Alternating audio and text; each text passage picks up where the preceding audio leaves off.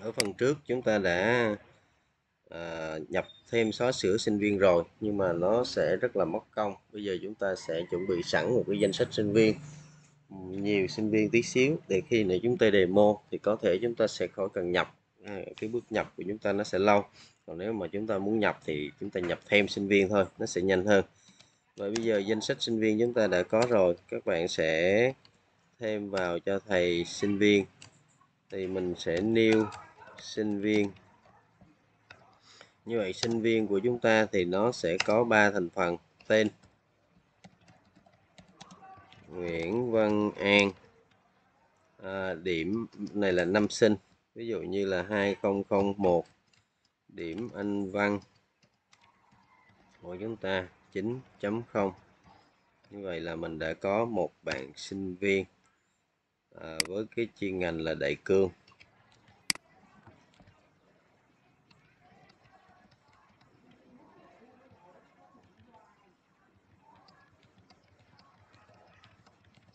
Rồi, ok.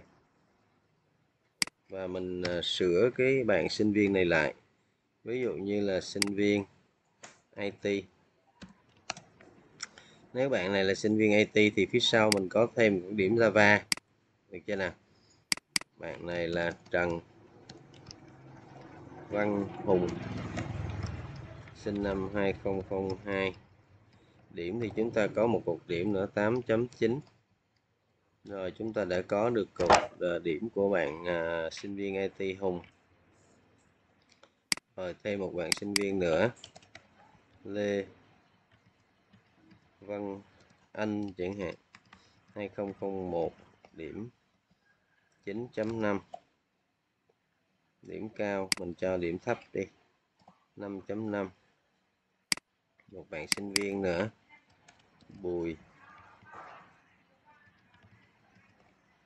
Văn Thành. Điểm Anh văn. 4 bạn sinh viên bit sinh viên bit sinh viên viết thì có thêm điểm marketing.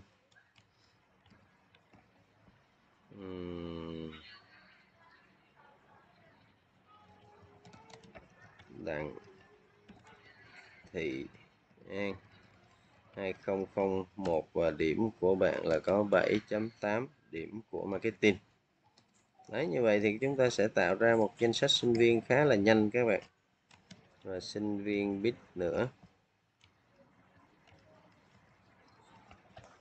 Lê. Điểm. Anh văn 6 điểm uh, 5.0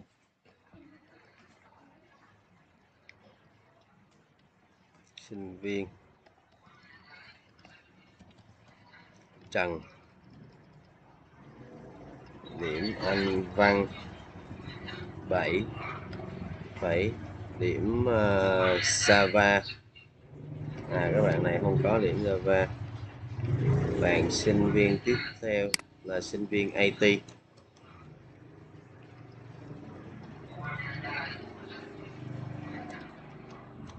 Hoàng Thị Diễm điểm Anh Văn 9 phẩy, điểm server 1 9.5 sinh viên IT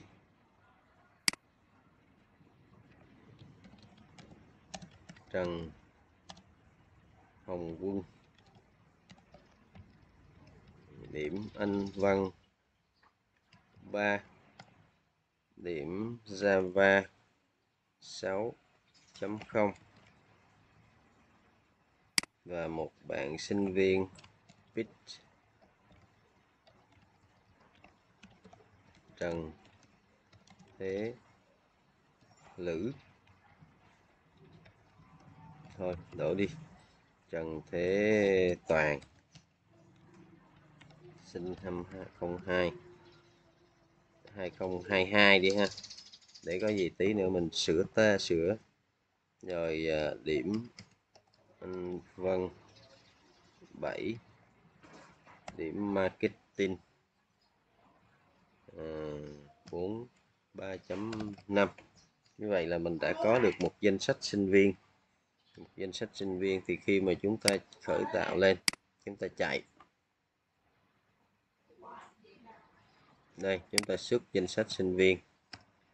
Đấy chúng ta sẽ thấy rất là dễ. Được chưa nào? Như vậy tùy các bạn có thể xuất theo hàng ngang để chúng ta dễ thấy. Hoặc là các bạn xuất theo xuống dòng giống như thế này thì tùy thôi. À, cái cách xuất hoặc là chúng ta xuất theo ở dạng bảng thì chúng ta thể design lại để chúng ta xuất nó theo dạng bảng. Tùy các bạn ha thầy chỉ xuất được thông tin thôi rồi còn các bạn à, tùy biến. Như vậy bây giờ chúng ta sẽ viết thêm chức năng cập nhật chúng ta biết rồi. Tìm nhân viên theo khoản lương nhập từ bàn phím như vậy thì chúng ta sẽ tìm sinh viên những sinh viên nào mà có điểm trung bình đi ha. À, điểm trung bình này của mình mình chưa làm tròn nè. Mình làm tròn thành một chỉ số đi các bạn nhé. Như vậy mình tìm sinh viên có điểm trung bình nằm trong khoảng từ bao nhiêu đến bao nhiêu thì chúng ta sẽ xuất danh sách những sinh viên đó ra. Không kết thúc. Là chúng ta đã kết thúc chương trình. Và ở trong cái hàm tính điểm trung bình của chúng ta thì chúng ta sẽ ghét điểm trung bình. Điểm trung bình của sinh viên bit. Đây. Thì chúng ta có thể à, làm tròn chỗ này. Math chấm round.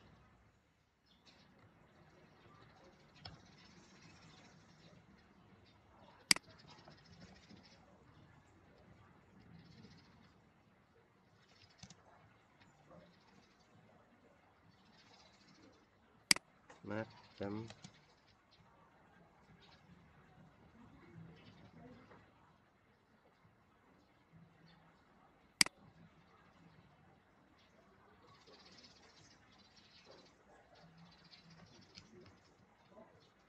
super điểm trung bình cộng, list điểm trung bình nhân 2 chia 3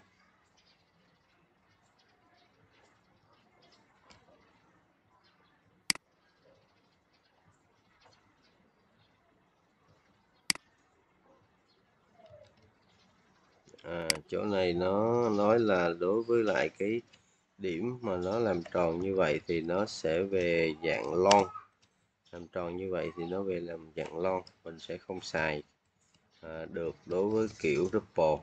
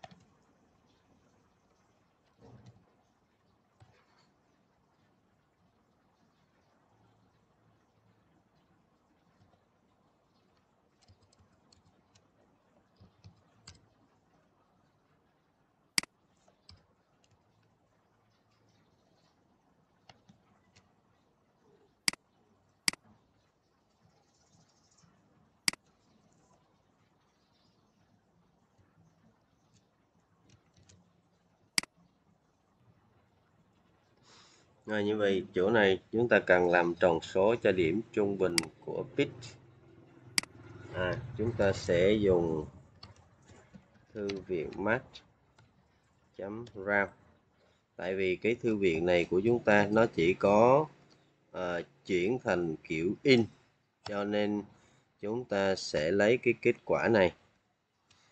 Lấy kết quả này. Đó, chúng ta nhân cho 10 sau đó chia cho 10 và chúng ta ép kiểu nó về, kiểu double.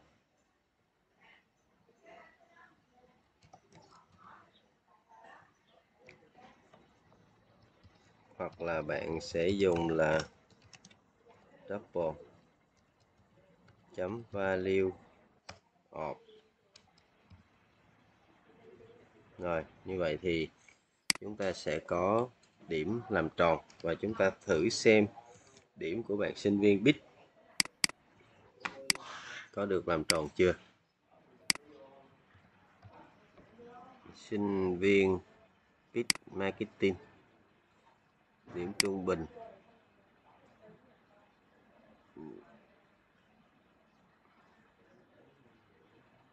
Hàng thị diễn Java Marketing. Điểm trung bình.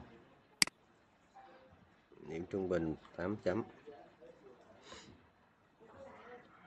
Rồi, điểm sinh viên it chưa làm tròn ha. Mình sẽ làm tròn cho bạn sinh viên it thì xem thế nào.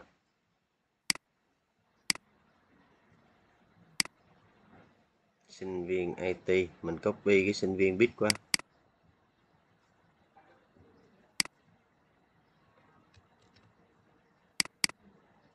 Như vậy điểm trung bình của mình. Nó chỉ thay đổi cái điểm Java. Đó, như vậy là chúng ta đã làm tròn điểm cho bạn sinh viên IT bây giờ chạy lại xem. Số 2 sinh viên IT điểm anh văn, đây, điểm trung bình sinh viên IT rồi ok. Đó, như vậy thì các bạn thấy là đối với lại à, à, thông tin khi mà chúng ta xuất ra chỗ này chúng ta sinh viên bit thì chúng ta sẽ có cái à, uh, to string chúng ta để chỗ này return chỗ này. Chỗ này mình sẽ tu string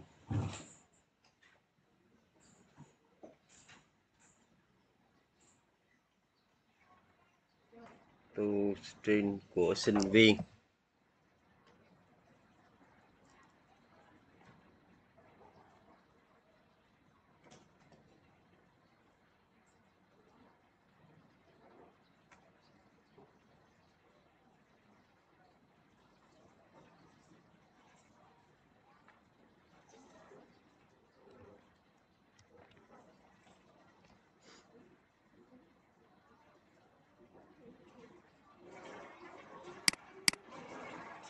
Rồi bây giờ chúng ta sẽ viết cái uh, chức năng liên quan đến uh, kiểm tra tìm nhân viên theo khoản khoản lương.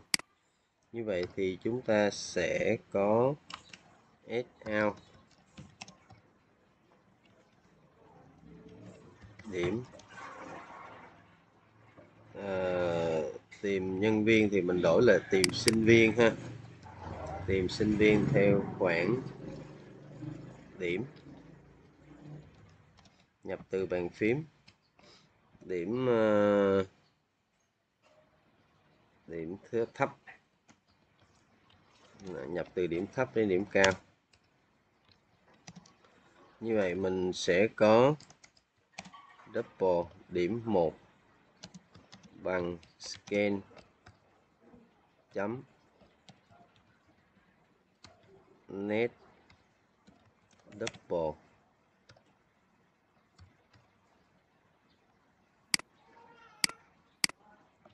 Điểm 2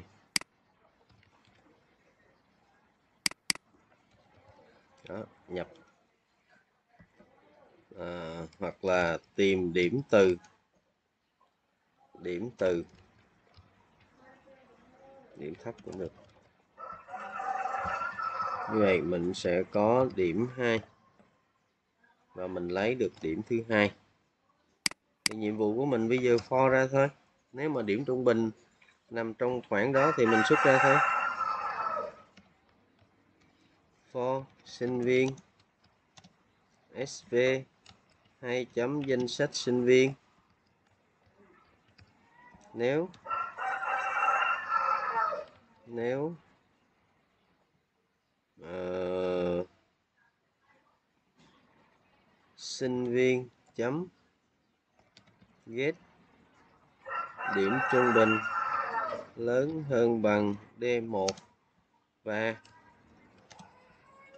sinh viên chấm get điểm trung bình nhỏ hơn bằng D2 thì sinh viên chấm xuất. Rồi, như vậy thì chúng ta đã có được danh sách sinh viên những bạn mà nằm trong khoảng điểm đó. Nhà chúng ta coi danh sách sinh viên của chúng ta. À, điểm trung bình năm có nè. Năm nè chín nè bảy nè năm nè. Nhiều bạn năm có ta. 8 nè 4 nè năm rưỡi nè 9 nè 9 nè. Rồi ok như vậy chúng ta xuất ra những bạn khá là từ à, 8 cho đến à, 10 đi. Như vậy chúng ta sẽ tìm nhân viên khoảng từ bàn phím, tức là chức năng 6 chúng ta nhập điểm thấp là 8 và nhập điểm cao là 10 thì những bạn sinh viên nào mà có điểm trung bình từ 8 đến 10 9 nè 9 nè 8 nè 9 đó, những bạn sinh viên nào mà có điểm trung bình từ 8 đến 10 thì xuất ra còn không thì thôi. Thì chức năng của chúng ta cần phải sửa lại tí xíu chỗ này điểm thấp.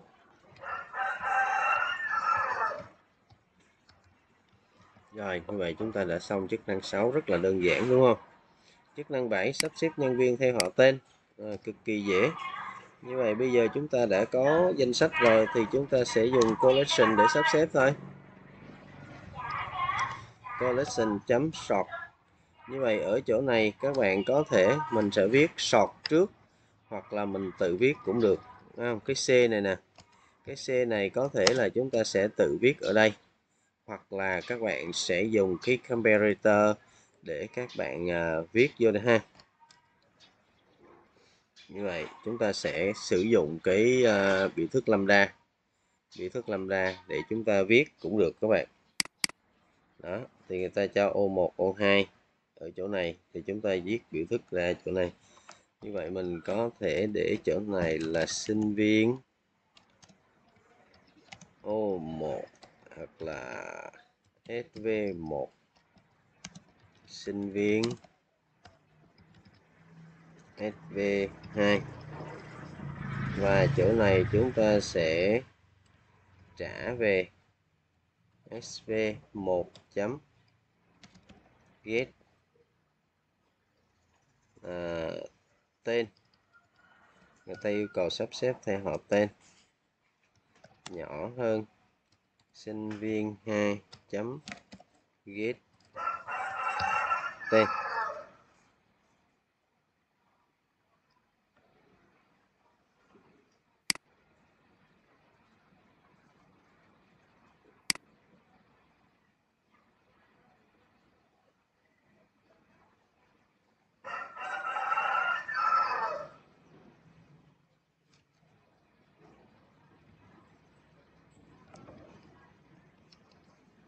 Chỗ này get tên và mình chọn compare to.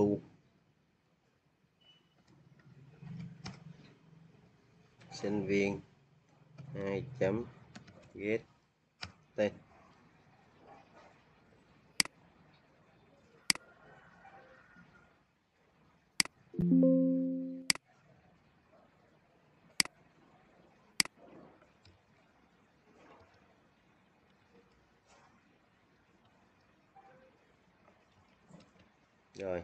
Chúng ta đã có được uh, sắp xếp theo tên và bây giờ chúng ta sẽ xuất ra thôi.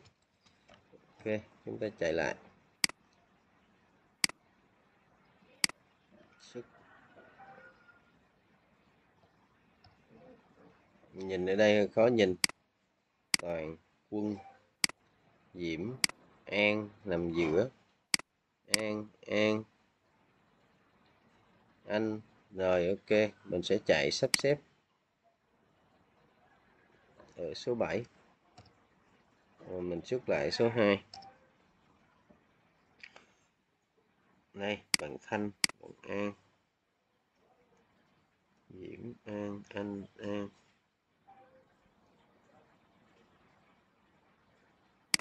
Hùng. Sinh viên một cái tên cầm bè tu.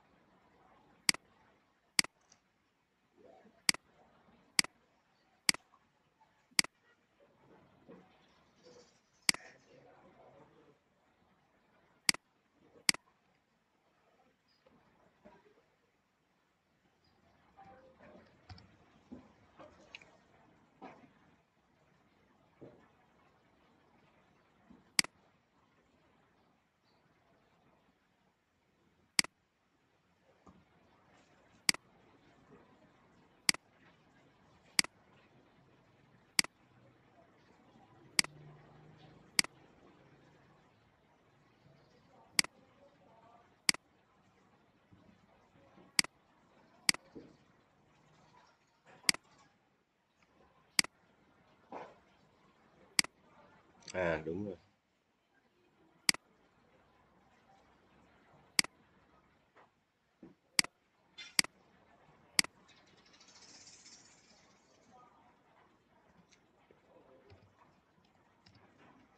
Hai, chúng ta sẽ tìm theo họ nè.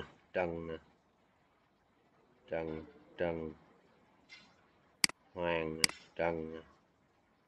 Lê nè. Bùi nè. Lê nè. Nguyễn nè.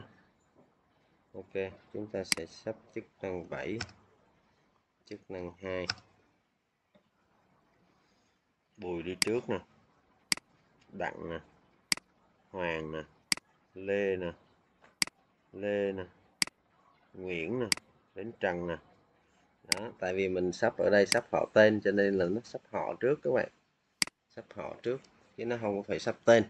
Cho nên là mình ờ, bị nhầm sắp họ trước. Còn nếu mà các bạn muốn sắp tên thì các bạn sẽ dùng một cái phương thức khác nữa. Dùng cách khác thì chúng ta sắp. Chứ chúng ta không ờ, không phải sắp như thế này. Nhưng mà tạm thời là chúng ta đã sắp theo họ tên là vậy đó. Chúng ta sắp theo họ trước. Ok. Ngày chúng ta đã thực hiện uh, xong chức năng sắp xếp. Khá là đơn giản ha. Nếu mà bạn nào muốn viết cái camera này ra ngoài cũng được. Không? Viết ra ngoài cũng được. Sắp xếp nhân viên theo thu nhập. Thì ờ, tương tự chúng ta ở đây chúng ta chỉ có là sắp xếp theo điểm trung bình. Thì ở chỗ này chúng ta sẽ đổi lại sinh viên. À, chúng ta không phải là get tên mà chúng ta sẽ get điểm trung bình. Thì bên này chúng ta sẽ compare với điểm trung bình của sinh viên. Thì chúng ta sẽ sắp xếp điểm trung bình thôi đó rất là đơn giản. Danh sách sinh viên. Danh sách sinh viên. Và chúng ta sẽ chỗ này chúng ta dùng uh, print f đi các bạn để cho nó dễ nhìn. Print f đi ha. Thầy sẽ đổi lại ở bên cái sọt này sinh viên của chúng ta. Thông tin. Thông tin.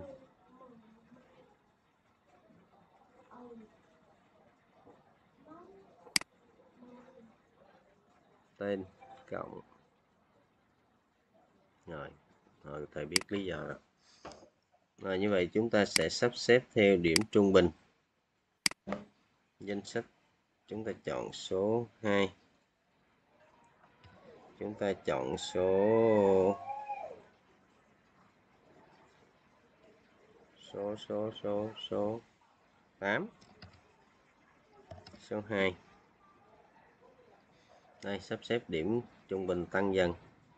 Bạn này điểm 4 nè bạn này điểm 5 bạn này điểm 5 rưỡi bạn này điểm 8 9 9 đó, sắp xếp tăng dần.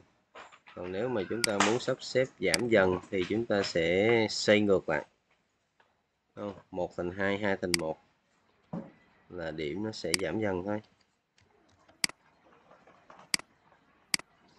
Chức năng số 8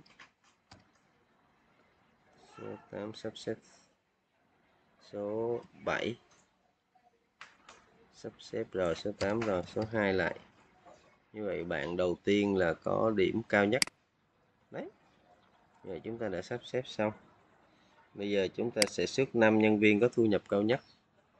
Như vậy thì đơn giản, bạn muốn xuất Ờ, năm 5 nhân viên có thu nhập cao nhất thì chỗ này là 5 sinh viên. Có điểm trung bình.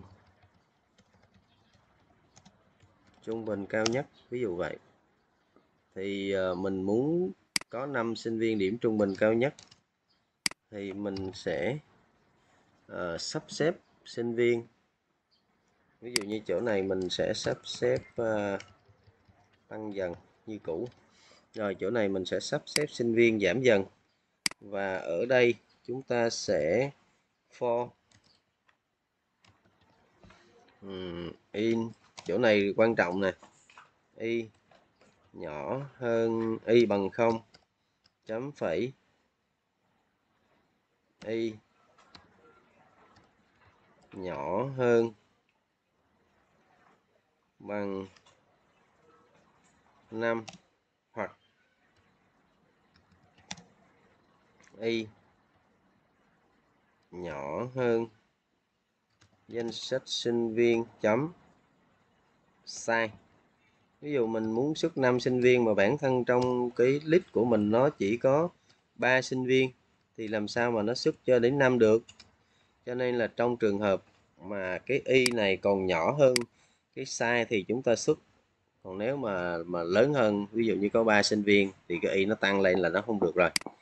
Thì chúng ta sẽ lấy danh sách sinh viên chấm get thứ y và xuất sinh viên này ra. Thế là xong. Đấy, như vậy là khá đơn giản để chúng ta xuất 5 sinh viên đầu tiên. Bây giờ thay vì xuất 5 thì chúng ta xuất 3 sinh viên thôi, để cho nó gọn ha. Ba sinh viên có điểm cao nhất rinh file danh sách sinh viên. Rồi chúng ta sẽ xuất 3 sinh viên có điểm cao nhất số 9 Đó, chỉ có 3 sinh viên thôi. À, mình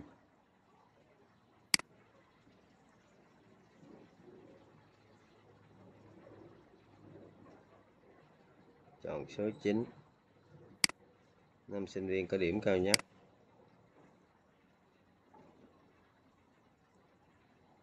Để coi lại code nè, sao nó xuất đâu nhiều vậy? À. À vậy vậy vậy vậy vậy. Chỗ này nó xuất hết danh sách luôn rồi. Như vậy thì chỗ này, nếu y nhỏ hơn 3 hoặc là y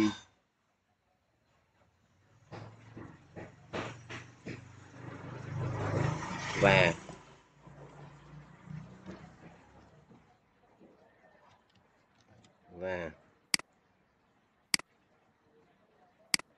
ok, thực hiện số 9 rồi, ba sinh viên. Bây giờ mình coi thử là sinh viên của mình à, mình cho số lượng sinh viên lớn đi. Thay vì 3 thì mình cho 33 sinh viên coi nó xuất được không? Đúng không? Cái y của mình là ba giới hạn là mình muốn xuất 33 sinh viên. Ok. Chức năng số 9 đó, nó chỉ vẫn xuất đủ số sinh viên trong lớp thôi mình yêu cầu 33 nhưng mà nó chỉ xuất ờ, mấy bạn này thôi chứ không xuất 33 tại vì số lượng của mình có chừng đó lấy đầu xuất 33 Đấy, như vậy các bạn thấy là đối với lại ờ, lập trình đôi khi chúng ta nghĩ nhưng mà chúng ta không chú ý thì nó sẽ chạy sai cái ờ, ý tưởng của mình chút xíu. Thì các bạn sửa lại nha. Rồi ok như vậy chỗ này của mình là 5 5 sinh viên theo yêu cầu của đề và cái y đó còn nhỏ hơn sai thì chúng ta xuất còn nếu mà y mà mà bằng sai trở lên là chúng ta đã out rồi. Như vậy chúng ta đã hoàn thiện bài tập của chúng ta từ chức năng 1 cho đến chức năng 9 thì nếu mà các bạn có thắc mắc về chức năng nào thì các bạn có thể uh, comment trong cái uh, um, YouTube hoặc là các bạn có thể nhắn trong cái group học giỏi Java học giỏi Java 1 cùng thầy, để thầy sẽ hướng dẫn giải đáp cho các bạn. Rồi, cảm ơn các bạn.